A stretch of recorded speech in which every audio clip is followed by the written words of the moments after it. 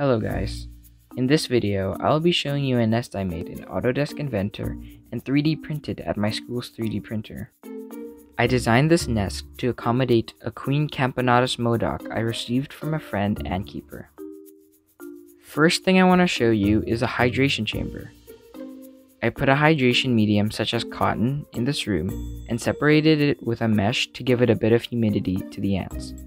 Camponotus modoc don't really need that much humidity, so I only needed it on one small section of the nest.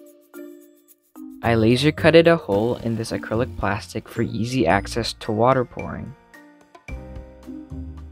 The main nest area can be viewed through another piece of acrylic plastic which can be covered by this lid I made so that they have full darkness. These chambers are long and straight as opposed to round because Camponotus species live in wood such as rotting logs, and they construct their nests in long lines so I decided to make it similar. These two entrances here is one for adding an outworld, and the other is to attach the test tube of my campo. The logo here is supposed to be my Instagram, Kusky underscore ants. So if you want to follow it, that would be epic. Here are all the components I used to design the nest. As you can see, it took a lot of editing and additions to make a pretty good quality nest.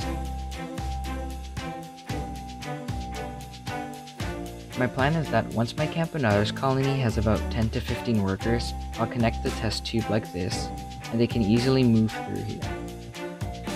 And that's pretty much it. Thanks for watching my video.